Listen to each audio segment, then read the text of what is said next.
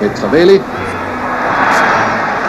Og Sovjetunionen i spidsen 1-0. Indtil 1921 bestod landsholdet kun af spillere fra de fire københavnske klubber AB, B93, Frem og KB, men nu blev også spillere fra resten af landets klubber udtaget.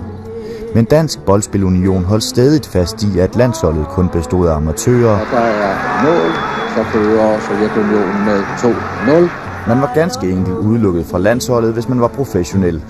Og det blev der ikke lavet om på før i 1971. Og så fører Sovjetunionen med 3-0.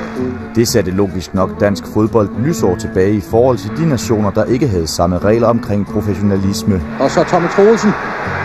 Ja, der er mål. Det var en hård opgave.